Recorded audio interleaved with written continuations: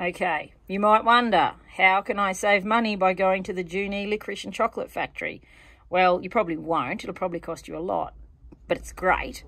But the thing is, what I wanted to show you is how I buy my licorice.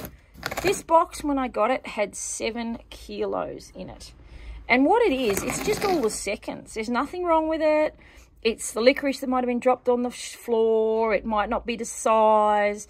Um, but it's great for the horses. They love it. And, you know, if you're in somewhere like Junee or, you know, there's other licorice factories around the place, go and see if you can buy stuff by bulk. See if you can save yourself some money. Well, the other thing is, you know, if you're feeding your horses treats like licorice, go to the supermarket and buy the cheaper stuff. They don't need the good stuff. They're not eating a lot. Please note, I'm not buying seven kilos so I can feed my horses boxes of it.